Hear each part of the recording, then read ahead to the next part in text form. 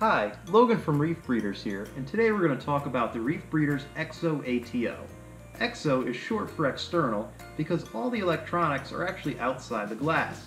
As long as you have a clear panel for the magnet to go through, you're all set. The Reef Breeders EXO ATO is super easy to install, and we're going to go over the installation and some of the basic safety features that are included with this extremely intelligent auto top-off system. Follow along as we go through in this video.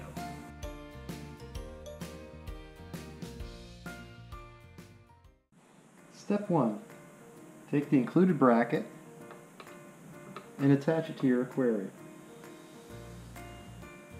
Step 2.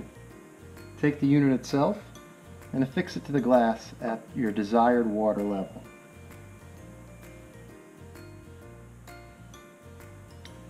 Step 3. Take your pump and attach the tubing. Place your pump in the ATO reservoir.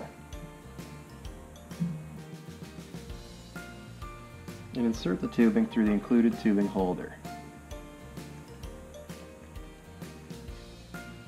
Be careful to ensure that the level of your ATO is lower than the level of your tank.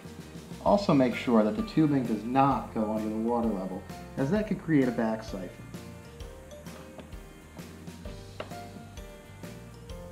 Plug your pump into the right hand side of your auto top off system.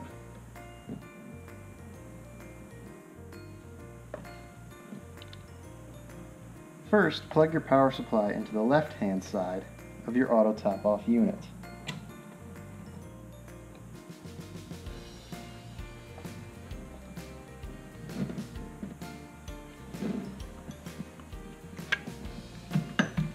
Then, plug your power supply in.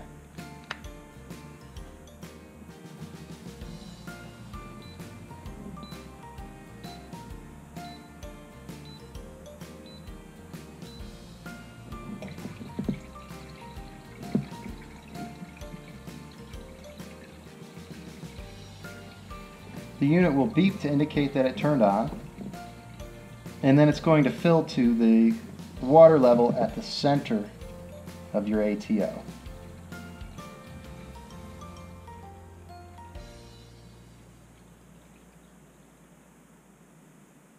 Once the water level has been reached, it'll automatically turn your pump off.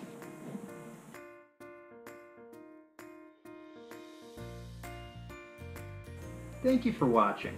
For more information and to purchase the Reef Breeders EXO ATO, visit us at www.reefbreeders.com. As always, thank you for choosing Reef Breeders to power your tank.